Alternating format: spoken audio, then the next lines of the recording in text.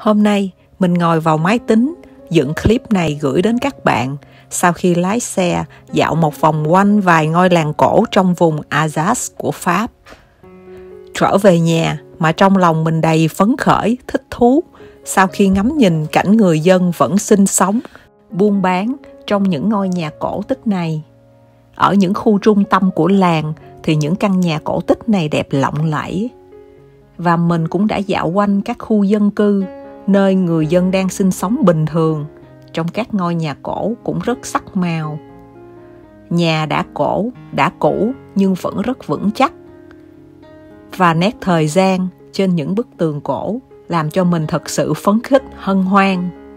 Mình oà lên trong lòng và tự hỏi, sao mà họ hay quá vậy ta? Họ còn bảo tồn được những căn nhà cổ này quá tốt để sử dụng bình thường trong những mục đích hàng ngày.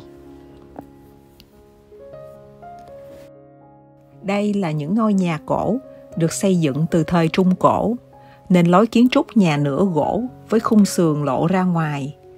Rất đặc trưng của vùng này và rất khác biệt với kiến trúc của thời hiện đại, mang đến cho chúng ta một cảm giác bình yên của làng nhỏ cổ tích ngày xưa. Mình nhìn thấy thích quá nên đã tìm hiểu xem nếu muốn được sống trong những căn nhà cổ tích này thì sẽ tốn bao nhiêu tiền để mua một căn vì thật sự, đó là một cảm giác rất là hay, rất là hoài cổ cho những người mê đồ cổ, nhà cổ qua tìm hiểu trên những trang buôn bán nhà đất, thì giá cả khác nhau, tùy vào vị trí có đắc địa hay không, và tình trạng của ngôi nhà đã cũ hay đã từng được sửa chữa qua để chúng ta có thể vào và ở liền. Vì nếu đã rất cũ thì chúng ta phải chi nhiều tiền để sửa chữa bởi vì những ngôi nhà này đã được xây dựng từ 500-600 năm trước. Mình thấy là ở những khu du lịch thì không thấy ai đăng bán những căn nhà cổ vì lượng khách du lịch đổ về những ngôi làng nhỏ này rất lớn.